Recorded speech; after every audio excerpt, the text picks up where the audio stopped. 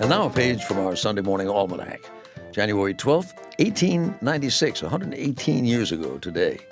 The date of an historic rogue x ray at Davidson College in North Carolina. On that night, three of Professor Henry L. Smith's students bribed a janitor to let them into the physics lab. There, they made an experimental x ray photograph of items that included two bullets, two rings, and a finger cut from a cadaver. One of the first x ray images in America was hardly the last. The very next month, Professor Smith himself published his own x ray photograph of a cadaver's hand.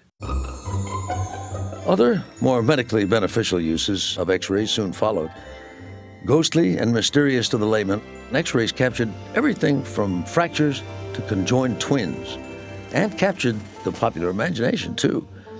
From the 1920s to the early 70s, many shoe stores featured x ray machines. They supposedly helped to assure a perfect fit, but also emitted poorly regulated levels of radiation.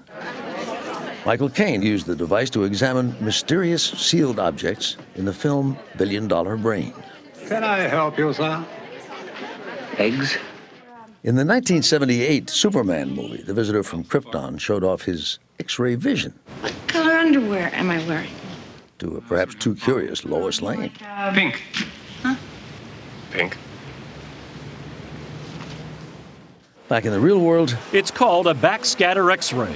Critics call it a digital strip search. the debut in 2007 of airport security scanners that produced all too explicit body images raised widespread safety and privacy concerns.